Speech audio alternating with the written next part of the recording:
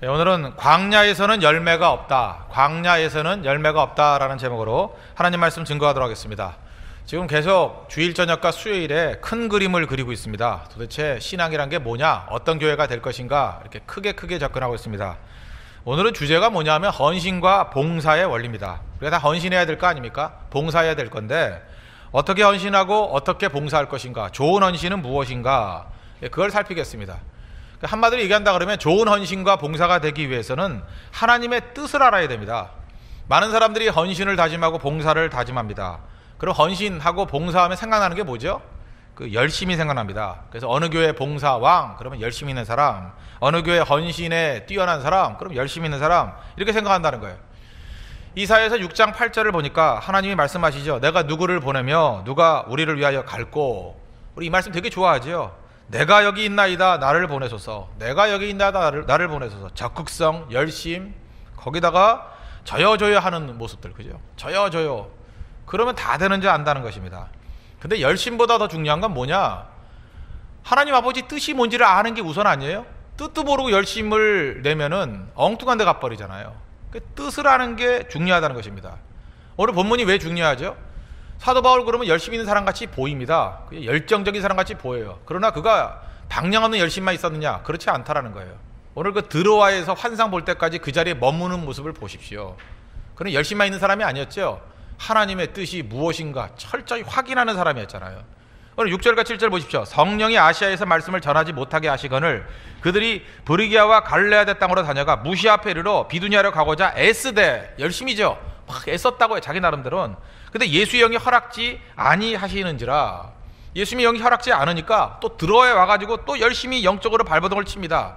그때 비로소 마게도냐의 환상을 보잖아요. 10절. 바울이 그 환상을 보았을 때 우리가 곧 마게도냐로 떠나기를 힘쓰니 이는 하나님이 저 사람들에게 복음을 전하라고 우리를 부르신 줄로 인정함이라라. 인정이 뭐예요? 확신이 왔다라는 거죠. 바울에게 분명히 열심히 있었습니다. 그러나 열심 이전에 뭘 봐야 되죠?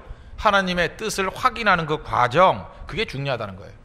그래서 한마디로 얘기하면 우리 홍대석의 성도들 헌신과 봉사해야 됩니다. 그러나 헌신과 봉사의 기초, 그 가장 밑바탕이는 기초는 뭐냐? 하나님의 뜻을 아는 것. 하나님의 뜻에 대한 점검이 반드시 필요하다는 것입니다. 예수님 보십시오. 예수님 헌신적인 사역을 하셨잖아요. 공생의 3년 반 동안 얼마나 헌신적인 사역을 하셨습니까? 근데 예수님의 사역 전체를 지배하는 원리가 뭔지 아십니까? 아버지의 뜻이에요. 하나님의 뜻.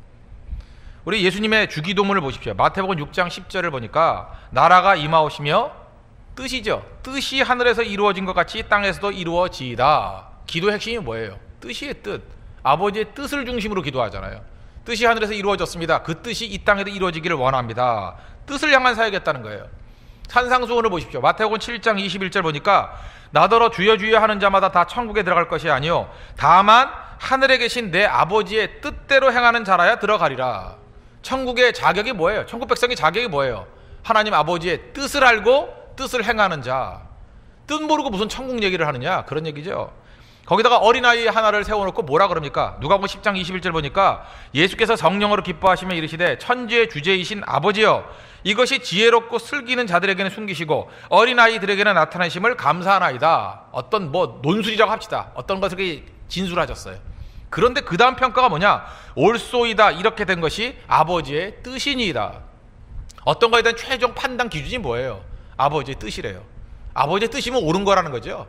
아버지의 뜻이라 그러면 어린아이에게 나타나는 것이 옳은 거라는 거죠. 그 근거가 뭐냐? 뭐 이 논리 저 논리 따지지 않았습니다. 예수님의 모든 논리의 근거는 아버지의 뜻이에요. 아버지의 뜻이면 맞는 겁니다. 그 예수님의 헌신의 기초가 아버지의 뜻이었다라는 거예요.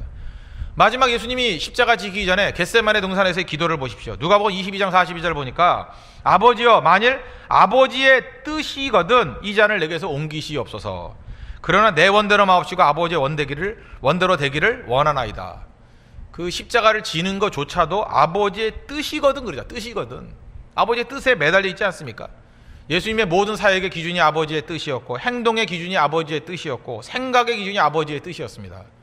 우리도 마찬가지라는 거예요. 무슨 일을 하든지 간에 아버지의 뜻이 무엇인가, 하나님의 뜻이 무엇인가를 명확히 알아야 된다는 것입니다. 그래서 어떤 교회가 좋은 교회입니까? 일단은 강대상을 통해 가서 하나님 아버지의 뜻이 무엇인지 날마다 날마다 선포해 주는 거예요. 그래서 뜻이 서 있는 교회, 뜻이. 뜻이 서 있어야 좋은 교회입니다. 그리고 성도들은 그 뜻대로 순종하는 교회, 강력한 교회가 될 수 있죠. 그래서 우리는 그냥 헌신하는 게 아닙니다. 그냥 봉사하고 다니는 게 아니에요. 기준이 뭐냐? 아버지의 뜻이라는 겁니다. 그래서 교회는 말이 많을 수가 없어요. 그래서 교회는 회의 많이 안 합니다. 왜? 회의 많이 하면 회의에 빠진다 그러잖아요. 회의해봐야 뭐 할 겁니까 그거? 회의해가지고 아버지의 뜻을 찾을 수 있나요? 아버지의 뜻을 찾는 길이 뭐예요? 어떤 때 하나님 말씀을 통해서 선포된 말씀을 통해서 그게 아니고 애매모호할 때는 기도해야죠. 기도하니까 사람들이 말이 없어지는 거예요. 교회에 아주 중대 문제가 생겼습니다. 어떤 결단해야 될 문제가 생겼어요. 그런데 하나님 아버지의 뜻이 무엇인지 말씀을 통해서는 애매한 거예요. 그래서 전송도가 모여서 기도하기 시작합니다. 말이 있을 리가 없죠. 이 소리 저 소리 할 이유가 없죠. 선동할 이유가 없죠. 언제까지 기도해야 돼요? 하나님께서 하나님의 뜻을 온 성도들에게 공통적으로 이렇게 느껴질 정도로 하나로 수렴해 주실 때까지 기도하는 거. 그 강력한 교회라는 거예요. 잊지 마십시오. 교회는 말이 많은 데가 아닙니다. 이유가 뭐냐? 사람의 뜻을 움직이면 말이 많아야겠죠. 사람의 뜻을 움직이면 회의 많이 해야겠죠. 사람의 뜻을 움직인다 그러면 분당, 파당도 많이 만들어야겠죠. 자기 뜻을 관철해야 되니까. 교회는 사람의 뜻이 서면 안 된다는 것입니다. 하나님 아버지의 뜻이 무엇인가를 알고 그것에 순종하는 곳이라는 거예요. 그래서 교회는 오히려 어떤 중요한 것을 결정하려 그럴 때일수록 조용해져요. 왜냐? 사람의 소리가 사라져야 되니까. 그래서 침묵 속에 들어갑니다. 기도 속에 들어갑니다. 말씀을 들으려고 합니다. 그래서 이게 하나님의 말씀이구나. 이게 하나님의 뜻이구나. 확신하는 그 순간에 그거 하나 붙들고 매진하는 것. 그게 교회의 모습이라는 거예요. 우리 홍대 소교회가 하나님의 뜻을 중심으로 움직일 수 있는 우리 하나님의 거룩한 교회 되기를 바랍니다.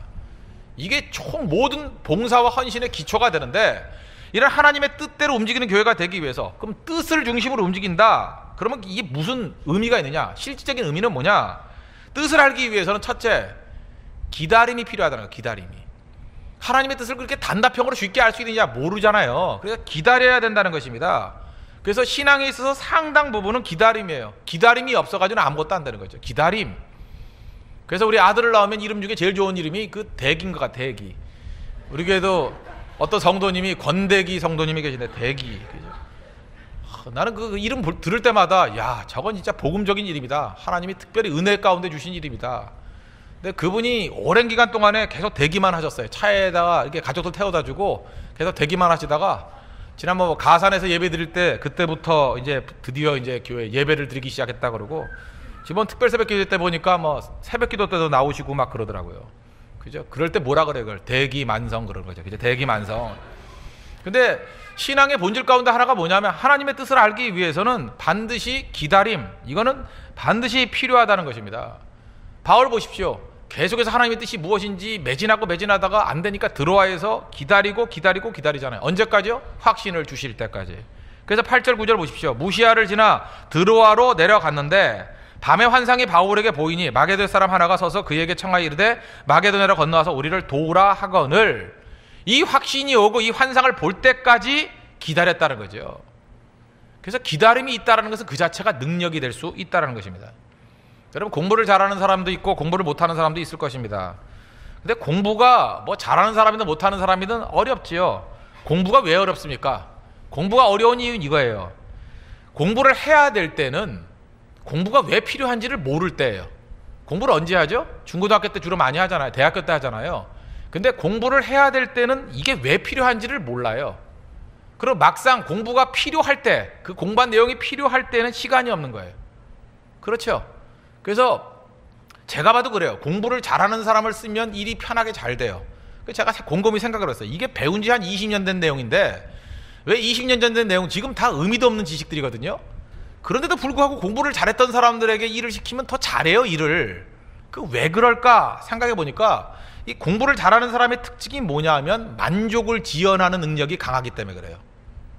지금 당장 고등학교 때 만족이 뭐예요? 뭐 친구들과 놀면 노는 거 아니겠어요? 축구하는 거 아니, 등산 가는 거 아니겠어요? 뭐 홍대 앞에 왔다 갔다 하는 거 아니겠어요? 그런데 그거보다 그건 나중에 할 수 있다 하면서 만족을 지연하는 거죠. 그리고 지금은 공부해야 되겠다. 그러면 이 만족을 지연하는 그 사람은 그 자체에서 능력이 있다는 거예요. 무슨 능력이 있어요? 기다리는 능력. 그래서 기다림이 있다는 건 뭐예요? 최선의 타이밍을 맞출 수 있는 능력이 나타나기 시작한다는 것입니다. 한 5, 6년 전에 나왔던 책이죠. 더 그 전인가요? 마시멜로 이야기. 어린애들에게 마시멜로라는 그, 그 맛있는 과자를 줬다라는 거예요. 그런데 지금 먹을래? 아니면 시간 좀 지나고 난 다음에 먹을래? 시간 지나고 나중에 먹으면 두 배 줄게. 두 종류 아이가 있다는 거예요. 무슨 소리야 하고 지금 먹는 게 최고다라고 먹는 애들은 10년, 20년 지나고 난 다음에 별 볼 일 없는 애가 되더라는 거예요. 반면에 어렸을 때부터 지금 이 먹는 만족을 지연해서 조금만 참으면 두 배 준대. 참을 줄 아는 애들. 그거 뭐 별거 아닌 것 같이 보이죠? 아니에요. 만족을 지연할 줄 아는 아이들.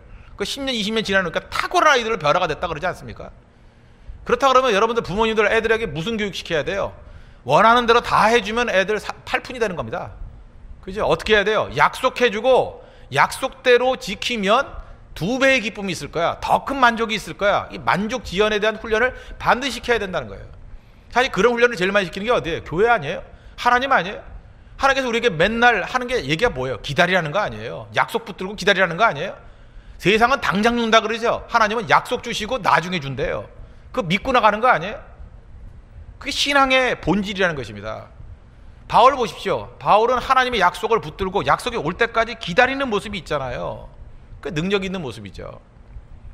지금도 보면요. 이렇게 공부를 잘 못했던 사람들 보면은 뭐 사람이 나쁜 게 아니에요. 다 괜찮은 사람입니다. 아주 호인이고 다 좋아요. 그런데 당장의 어려움이 있으면 그걸 못 견뎌요. 그 문제가 풀리지 않으면 아무것도 못해. 우왕좌왕하고 막 당황하고. 반면에 어려서부터 그 만족을 지연시킬 줄 아는 사람은 참아내요. 참아내서 가장 좋을 때, 최선의 때 그것을 누릴 줄 압니다.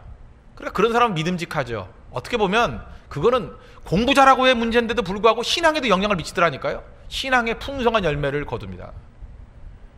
여러분 삶에 있어서 다른 건 모르지만 학창 시대에 못 배웠던 이 만족 지연에 대한 메시지 꼭 붙드시고 하나님 기다리는 능력을 주십시오. 기다리지 않으면요 내 뜻대로 일하게 되지 절대로 하나님의 뜻대로 일할 수 없다라는 것입니다.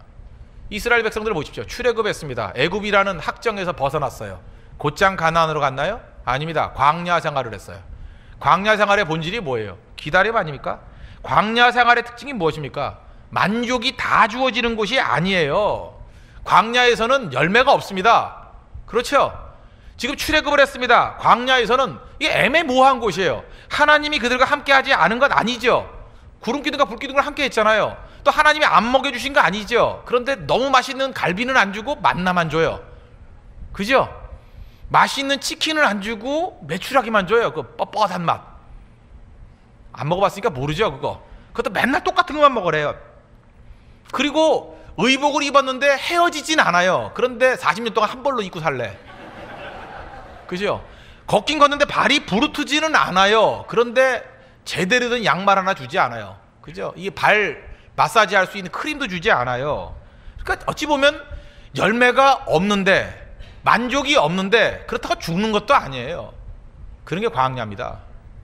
여러분 지금 신앙생활 할 때 꼭 광야생활 같은 느낌을 꼭 받을 거예요. 하나님이 나를 버린 것도 아니고 함께하지 않는 것도 아니에요.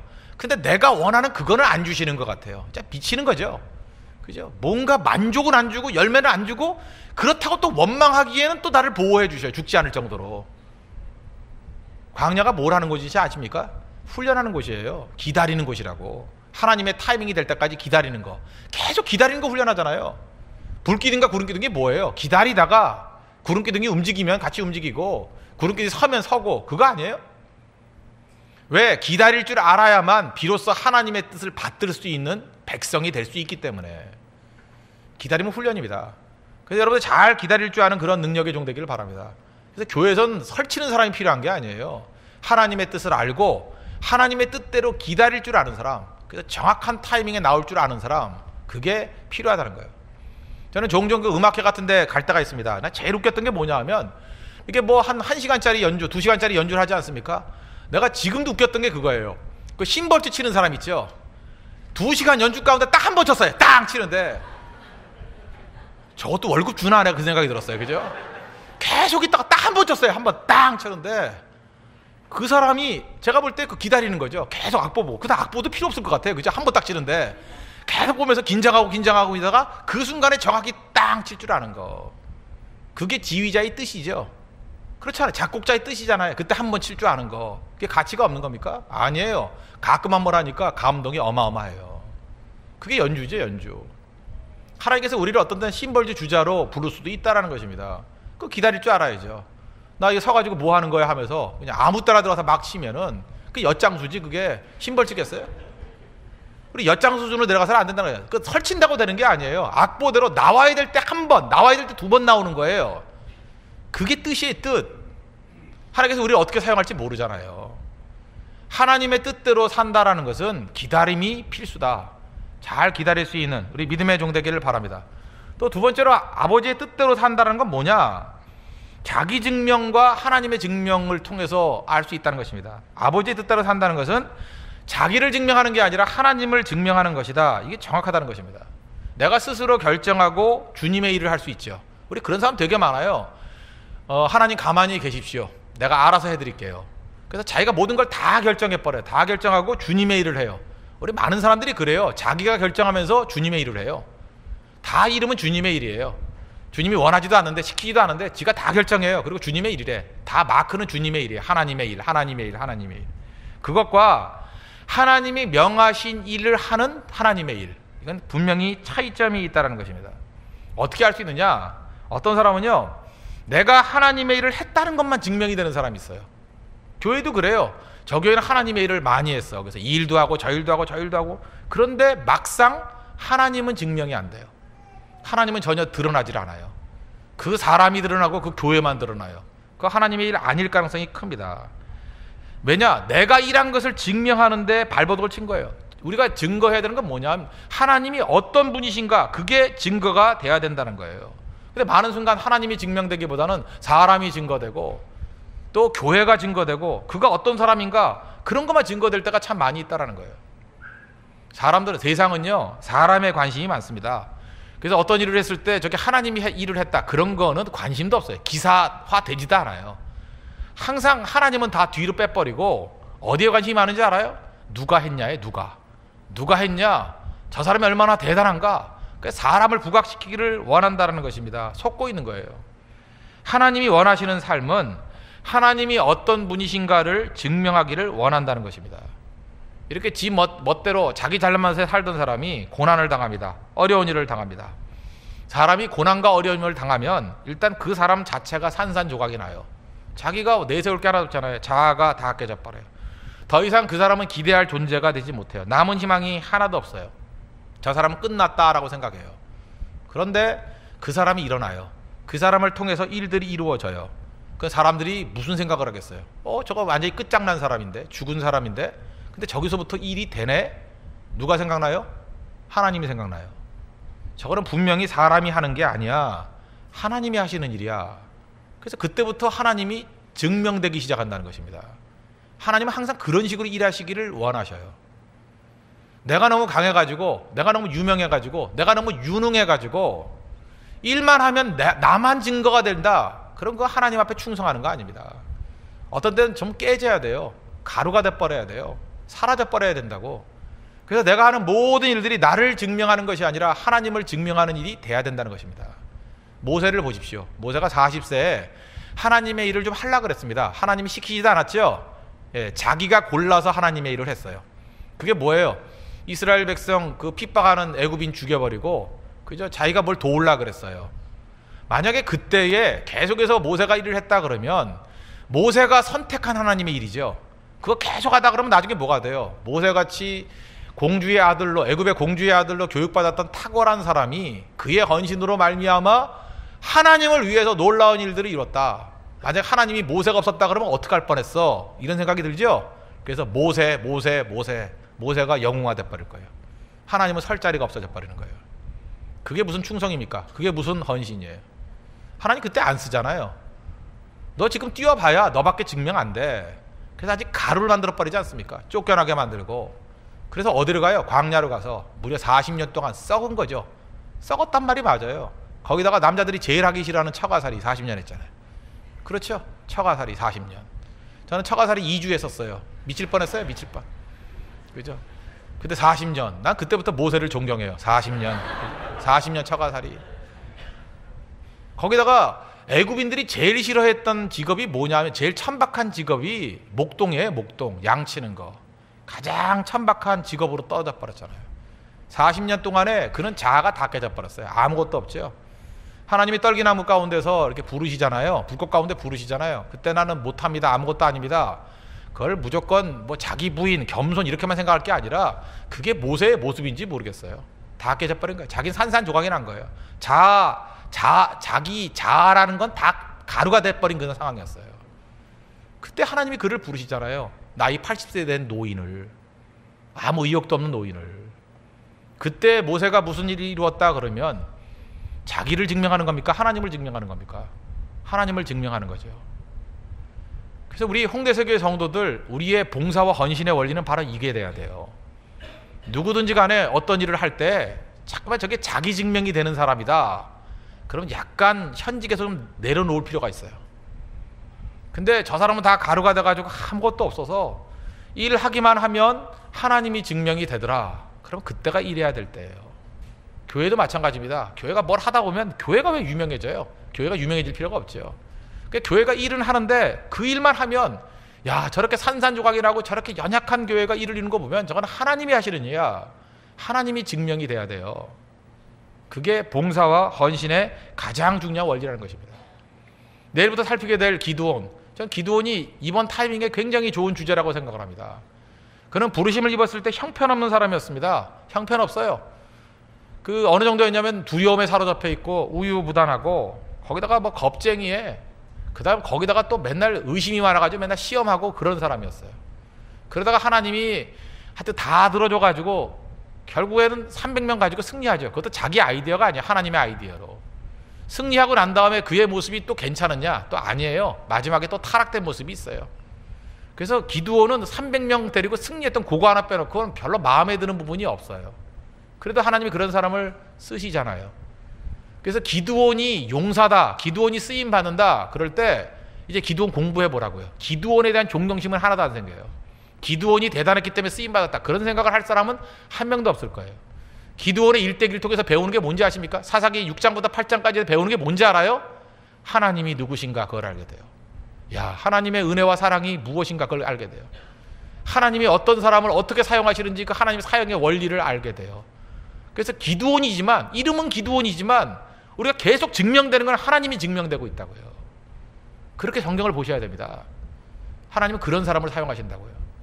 그래서 우리는 사용될 법한 사람이 사용되는 게 아니고 전혀 아닌 사람, 하나님을 가장 잘 증명할 수 있는 사람을 부르신다는 원리를 잊지 말고 하나님 앞에 잘 쓰임 받는 종 되시기를 바랍니다.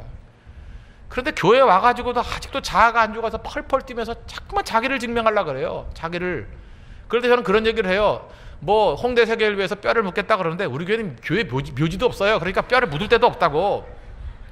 우리 교회는 얼마나 가난한 교회가 지금 됐는지 좀 더우시죠? 예, 조금 이제 헌금이 모여가지고 다음 주에 에어컨 큰 거 두 대 또 놓을 거예요. 예, 이제 그런 교회 아시겠어요? 예, 에어컨도 일주일 단위로 이제 하나씩 하나씩 둬야 되는 교회예요. 지금 우리 믹서기가 없대 얘네들. 예, 믹서기가 없대요. 그거는 그 다음 주에 또 가봐야 돼요. 헌금이 들어오면 또 하는 거고 없으면 계속 삑삑 때리면서 또 할 거예요. 그죠? 그런 교회예요. 그런 교회. 아시겠죠? 그런데 와가지고 자꾸만 내가 뭘 기여하겠대요. 헌신하겠대요. 그거 필요 없어요.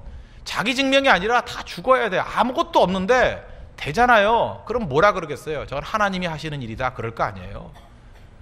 우리 홍대수 교회는 계속 주님 오실 때까지 그런 교회를 갔으면 좋겠어요. 무슨 일을 하든지 간에 저건 사람이 한 게 아니고 저건 하나님이 하신 일이야. 될 것도 아닌데 되잖아. 그래서 하나님을 증명하는 교회가 좋은 교회지 자꾸 자기 증명하는 게 뭘 좋은 교회겠어요. 봉사와 헌신 아무나 하는 거 아닙니다. 예수님이 증거하고 하나님 증거할 수 있는 사람만이 할 수 있는 거 그게 봉사의 원리라는 거 그거 꼭 잊지 마십시오. 그래서 사람들은 참 이상해요. 그래서 복음을 증거할 때도 그 목사님들 가운데도 그런 사람, 박사학위 받은 목사님들은요. 그냥 무슨 무슨 목사 그러면 될 건데 잠깐 무슨 무슨 박사 이렇게 쓰는 걸 원해요. 그럼 그 내용이 뭐죠? 내가 이렇게 괜찮은 사람이라는 거예요. 이렇게 괜찮은 사람이기에 기독교의 내용을 잘 전할 수 있다. 잠깐만 그거를 증명하는 거예요. 그러니까 그건 뭐예요? 두 가지 다 붙드는 거죠. 하나님도 증명하면서 나도 증명하기를 원한다. 목사님들만 그러는 줄 알아요? 우리 성도들도 마찬가지예요. 꼭 그렇게 하고 싶어요. 예수도 잘 믿고 돈도 잘 벌고. 그죠? 하나님도 증명하면서 나도 증명하고 싶어요. 그 다음에 예수도 잘 믿고 고시도 붙고. 꼭 그러고 싶어요. 그래서 예수 잘 믿는다 그러고 맨날 그 생체 상급 붙은 거 자랑하잖아요. 그죠? 뭐 시험도 붙고 또 뭐라 그래? 예수도 잘 믿고 얼굴도 예쁘고 꼭 그래야 되는 거예요, 그죠? 얼굴도 예쁘고 뭐 몸매도 좋고 뭐 이렇게 그 남자들 보디빌더들 뭐 우리 한- 우리 교회에서도 지금 뭐 이렇게 운동하는 형제들 많아지는 것 같아요. 잠깐만 그 보면 잠깐 자기를 증명하려 그래요. 예수님도 증명하고 자기도 증명하려고. 이거 유혹이라는 거 아십니까? 그렇게 되는 경우가 없어요. 자기 자신이 산산조각이 나야 됩니다. 그래서 산산조각이 나면은 증명할 의지도 사라져 버려요. 뭘 증명해? 증명하기는. 그러다 보니까 내세울 게 뭐가 있어요? 예수님밖에 없는 거죠. 그 예수님만 증거합니다. 그래서 참 이상해요. 사람이 깨지고 사람의 그 상태가 파산 상태가 됐을 때 오히려 십자가에 복음은 더 강하게 증거가 되고 예수님은 더 강력하게 증명이 되더라는 거예요. 주님이 그걸 원하십니다. 그래서 홍대세교의 모든 성도들 우리 사도 바울이 표현했잖아요. 고린도 후서 11장 32절에 내가 부득불 자랑할진대 나의 약한 것을 자랑하리라. 약한 것을 왜 자랑해요? 나는 파산 상태라는 거죠. 아무것도 내세울 게 없다는 거죠. 그래서 십자가가 증거되고 그래서 예수님이 증거되고 그래서 예수님이 증명되고 하나님이 증명되는 인생. 가장 강력한 인생이 될 수 있다라는 것입니다. 혹시라도 여러분들 막다른 골목에 처한 분들 계십니까? 저는 너무 그런 분들을 보면 기뻐요. 아, 이렇게 마- 만나보면은 아, 목사님 파산입니다. 뭐 막다른 골목입니다. 뭐 죽고 싶습니다. 난 왜 이렇게 흐뭇한지 모르겠어요. 그런 분들만 홍대세교에 다 왔으면 좋겠어요. 죽고 싶은 분들 다 와야 돼요. 죽고 싶은데 뭘 증명할 게 있겠어요, 그죠? 저 우울증으로 2년 동안 앓고 있습니다. 얼마나 좋아요. 뭐 그런 사람이 무슨 일을 하겠어? 그런데 그런 사람이 무슨 일을 한다 그러면 하나님이 하신 거 아니에요? 그렇지 않아요? 너무 좋아요, 너무. 우리 뭐 청년들 가운데 요즘에 청년들 기도했더니 뭐 온몸에 문신한 형제들도 많이 오고 그러대, 그죠? 너무 좋아요, 너무. 그런 형제들이 찬송한다 그게 사람이 한 일이겠어요? 하나님이 한 일이지? 안 그러겠어요, 그죠? 우리는 지금 이상한 믿음이 있었죠. 드럼만 사놓고 드러머가 없었잖아요. 믿음이었죠. 그래서 계속 기도했잖아요. 그죠? 드러머가 오게 해달라고. 또 왔잖아요. 어, 생각보다 너무 잘 치는 것 같아. 나는 허접한 애가 올 줄 알았는데, 어, 너무 잘 치는 것 같아. 저게. 그래서 하나님이 저렇게 완벽하게 이거 사람이 한 거 아니잖아요. 만약에 처음부터 한다 그러면 아 저 목사가 저 젊은이 목회 많이 하더니만 어딜 가더니 그냥 저렇게 드러머들은 뭐 줄을 잃을 정도로 아무데나 데려올 수 있구나. 그러면 드럼을 잘 치더라도 뭐라고 생각하겠어요? 저가 인간관계 때문에 온 거다. 인맥이 좋아서 온 거다. 그 옛날의 인맥이구나. 아니었잖아요. 우리 5주 가까이 드럼은 없었잖아요. 드럼만 쳐다보면서 계속 기도만 했잖아요. 그죠? 계속 드럼만 앉아가지고 엎드려 잠만 자고 계속 그랬잖아요. 그런데 이제 자포자기 돼서 더 이상 아무도 없다. 그럴 때 어디선가 나타났잖아요, 드러머가. 그리고 너무 잘 치잖아요. 그때 우리가 느끼는 게 뭐예요? 하나님이 보내주신 거다. 하나님이 하신 거다. 그런 거 아니에요? 저는 홍대세교의 모든 헌신들이 다 그런 모습이 되었으면 좋겠습니다. 그냥 우리의 잘남과 우리의 어떤 그 능력을 증명하는 것이 아니라 우리는 아무것도 아닌 존재입니다. 우리는 허물 많고 죄 많은 존재입니다. 우리는 소망이 없습니다. 근데 되잖아요. 하나님이 하셨군요. 하나님이 보내주셨군요. 그게 헌신과 봉사의 기초 원리라는 거예요. 매 순간마다 하나님만을 증명할 수 있는 믿음의 종 되기를 바랍니다. 그리고 세 번째로 하나님의 뜻으로 섬긴다라는 게 무슨 뜻이냐? 이게 방법까지도 하나님께 맡긴다라는 것입니다. 그죠? 원래 바울이 갈라 그랬던 아시아는 번화한 곳입니다. 근데 하나님께서 마게도냐를 가래요. 시골이에요, 당시로는. 6절 보십시오. 성령이 아시아에서 말씀을 전하지 못하게 하시거늘 그들이 부르기아와 갈라디아 땅으로 다녀가. 지금 여기 말하는 아시아, 이 흑해 지방이거든요. 부르기아, 갈라디아 다 당시로서는 이 번화가예요, 번화가. 그러니까 바울은 잠깐만 그런 번화가를 갈라 그랬어요. 그런 마음 있잖아요. 잘 되는 곳 갈라고. 근데 하나님께서는 어딜 가느냐? 마게도냐를 가래요. 지금은 유럽인데 지금은 유럽이 좋아 보이죠. 그 당시에는 야만인들이 사는 곳이에요. 그죠? 가장 낙후된 곳이라고요. 그래서 유럽이 좋아서 간 게 아니라 바울이 들어가서 좋아진 거다. 이게 맞는 얘기예요. 잊지 마십시오. 좋지 않은 곳이에요. 그런데 하나님의 방법은 사울의 방법, 바울의 방법과 다르잖아요. 바울이 가려는 곳 아니다. 네가 생각하는 그 방법이 아니라 가장 험난하고 사람 안 사는 거, 거기 야만적이 사는 거, 글로 가라. 마게도네라 가라. 그게 하나님의 방법이라는 거예요. 그래서 우리가 하나님의 뜻대로 산다는 건 뭐냐면 수단과 방법까지도 아버지 하나님께 맡길 줄 알아야 되는 것입니다. 우리는 그러죠. 모든 작전 다 짜고 난 다음에 하나님 도와주세요. 그런 거잖아요. 하나님이 뭐예요? 들러리예요? 아니죠. 모든 작전과 계획을 짜시는 분이 누구예요? 하나님이라고요. 내 방법이 아니라 하나님 방법을 따라야 된다는 것입니다. 이런 걸 보여주는 것이 요한복음 6장의 오병이어 기적 사건이죠. 요한복음 6장 5절에 보니까 예수님께서 제자 빌립을 시험하시는 장면이 나옵니다. 예수께서 눈을 들어 큰 무리가 자기에게로 오는 것을 보시고 빌립에게 이르시되 우리가 어디서 떡을 사서 이 사람들을 먹이겠느냐 하시니 이렇게 말씀하시면 친히 어떻게 하실지를 아시고 빌립을 시험하고자 하심이라. 지금 방법론에 관해서 한번 물어보는 거예요. 너 빌립 너 어떡할래? 예수님이 시험하셨다 그러잖아요. 빌립이 대답하되 각 사람으로 조금씩 받게 할지라도 200 데나리온의 떡이 부족하리이다. 빌립은 제자들 가운데 가장 머리 좋은 사람 가운데 한 사람이었습니다. 그래서 머리 제일 좋고 자기 자아가 강한 사람인 빌립에게 한번 물어본 거예요. 사람들 많은데 어떻게 먹일까? 계산이 빠르잖아요. 돈입니다. 200 데나리의 떡이 부족할 것입니다. 예수님이 그 답이 맞다 그런 거예요? 틀린다는 거예요? 아니라는 거죠. 너는 맨날 네 방법만 생각하니. 그 다음에 그 제자들 가운데 제일 머리가 좀 안 되는 사람 가운데 하나가 형제 아닙니까? 형제는 용감했다. 그죠? 베드로와 안드레. 안드레가 단순해 보이지만 어린아이 하나를 데리고 옵니다. 6장 8절 보니까 제자 중 하나고 시몬 베드로의 형제 안드레가 예수께 여짜오되 여기 한 아이가 있어 보리떡 다섯 개와 물고기 두 마리를 가지고 있나이다. 무슨 얘기예요? 지금 자기 자신이 방법과 수단을 예수님께 내놓는 겁니까? 아니죠. 답이 없다라는 거예요. 나는 어떻게 행할지를 모릅니다. 자기 주권 포기예요. 예수님께 맡기는 거예요. 지금 우리 있는 거라고는 이 어린아이가 갖고 온 보리떡 다섯 개와 물고기 두 마리밖에 없습니다. 그리고 주님께 맡겨버리잖아요. 방법 우리 몰라요. 주님 어떤 방법을 할까요? 그랬더니 예수님께서 하시는 말씀이 뭐예요? 사람들 50명씩 앉혀라. 그리고 보리떡 다섯 개와 물고기 두 마리 떼어주니까 장정만 5천명 받고도 12바구니가 남잖아요. 여기서 예수님이 요구하는 게 뭐였죠? 방법과 수단조차도 내게 맡기라는 거예요. 아버지의 뜻대로 살아간다는 건 뭐냐면 하나님 아버지의 방법과 수단을 붙드는 게 아버지의 뜻대로 사는 거지. 아버지를 위하는 결과만 좋으면 내 수단과 방법대로 해도 됩니다. 그게 아니라는 것입니다. 그래서 교회는 철저히 방법까지도 물어봐야 돼요. 어떤 방법으로 할까요? 그죠? 어떤 시기에 할까요? 어떤 수단으로 할까요? 무엇을 사용할까요? 그 사용할 줄 알아야 된다는 거예요. 그래서 우리의 씨름이 혈과 육이 아니라잖아요. 교회는 혈과 육으로 싸우는 거 아닙니다. 하나님의 전신갑주를 무장하라. 주님 방법 가르쳐 줬잖아요. 어떻게 싸우라고. 그럼 그렇게 싸워야죠. 그런데도 불구하고 우리는 계속 은가금을 추구하지 않습니까? 돈 있는 사람도 존경하려 그러고 사회적인 지위 있는 사람들 더 의지하려 그러고 그건 그분대로 헌신하는 거예요. 그분대로. 그 필요 없다는 얘기가 아니라 하나님이 그 부분을 사용하시는 거라고요. 그것만 가지고 교회가 되는 게 절대로 아니라고요. 하나님의 방법과 수단을 따를 줄 알아야 된다는 것입니다. 그러므로 헌신과 봉사의 원리 중에 제일 중요한 게 무엇입니까? 얼마나 자기를 비웠는가 그게 중요해요. 그래서 자기 뜻이 너무 강한 사람 그 쓰임 받기 힘듭니다. 얼마나 비웠는가, 얼마나 자기 자신을 부수었는가.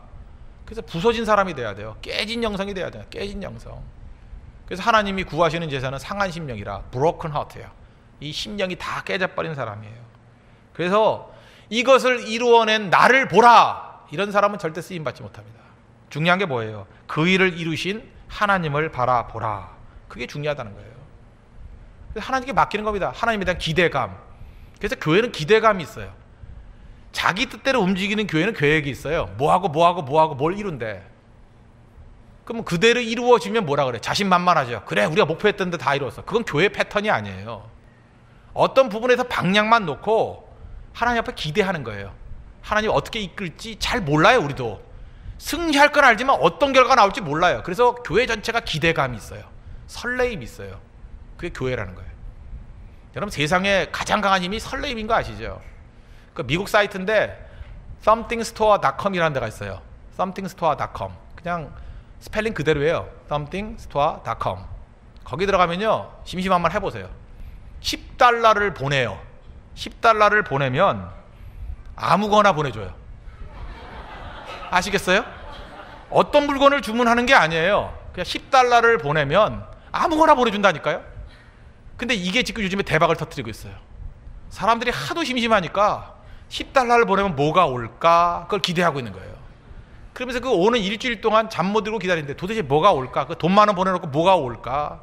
어떤 은 귀파게도 오고, 뭐, 눈 가리개도 오고, 뭐 오뚜기도 오고, 어떤 때는 뭐 새로 나오면 음료수도 하나 보내주고 뭐 그런데요. 그게 너무 재밌어 한데요. 설레임. 여러분 사람들이 그래 10달러 주고 그 설레임 속에 그걸 기대하는 그 심리 아시겠습니까? 그거보다 더 짜릿한 게 뭔지 알아요? 하나님께 맡기면 그죠? 함- 하나님께서는 something heaven이죠. heaven.com. 하늘에서 어떤 걸 주실지 몰라요. 10달러짜리가 아니에요. 더한 어떤 걸 주실지. 그래서 다음 주에는 어떤 일이 벌어질지, 그 다음 주에는 어떤 일이 벌어질지 모르는 일이에요. 설레임에 설레임. 설레임 가운데 거하는 우리 믿음의 종되길 바랍니다. 그래서 우리는 충성하고 헌신하지만 언제나 설레임이 있어요. 왜? 하나님이 어떻게 우리를 이끌어갈지 모르기 때문에. 그러나 세상에서 제일 식상한 모습이 뭔지 아십니까? 내 뜻대로, 내 고집대로. 그러니까 맨날 했던 것도 하는 거예요. 그리고 자기 고집대로 살다가 고통 속에 쓰러지고 괴로워하고. 왜 그런 한심한 인생을 사냐고요. 하나님 아버지의 뜻대로 사는 사람은 방법과 수단까지도 주님의 뜻에 맡긴다라는 거 잊지 말고 설레임 속에서 하나님의 인도하심을 구하는 우리 믿음의 신실한 종 되기를 바랍니다. 내일 새벽에도 하나님께서 큰 은혜 주실 것으로 설레임이 있죠. 예, 어떤 설렘이 있을지 모르겠어요. 설렘이 없는 사람들은 아, 아침에 주무실 거고 설렘이 있는 분들은 잘 수 없지요. 벌떡 일어나서 올 거예요. 그래서 설레임이 사라지지 않도록 계속해서 하나님 앞에 기도하는 종들이 되기를 바랍니다. 네, 기도하겠습니다. 이 시간 다 같이 하나님 앞에 간구하겠습니다. 오늘 말씀의 주제가 봉사와 헌신의 원리입니다. 가장 중요한 게 뭐예요? 하나님 아버지의 뜻을 알아야 된다. 그 하나님의 뜻을 아는 교회가 되기 위해서는 기다림이 있어야 되고 나를 증명하는 것이 아니라 하나님을 증명해야 될 것이고 수단과 방법까지도 하나님의 뜻에 맡겨야 된다. 그래서 우리 홍대 세교의 모든 성도들은 어, 하나님의 뜻대로 섬기는 좋은 봉사자와 헌신자가 될 수 있도록 해달라고 우리 다 같이 하나님 앞에 간구하도록 하겠습니다.